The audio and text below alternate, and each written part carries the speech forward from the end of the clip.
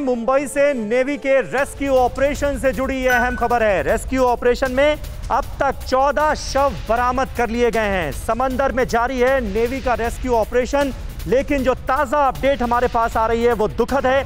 14 शवों की बरामदगी अब तक की जा चुकी है। समंदर में अभी भी नेवी का ये रेस्क्यू ऑपरेशन जारी है। तमाम जहाजों पर जो फंसी जिंदगियाँ थी, उनको बचाने की मुहिम में नेवी के जाबाज जुटे हुए थे।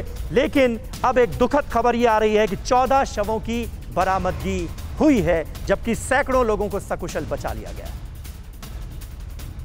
परवाह देश की। सोमवार से शुक्रवार रात 10 बजे टीवी 9 भारतवर्ष पर।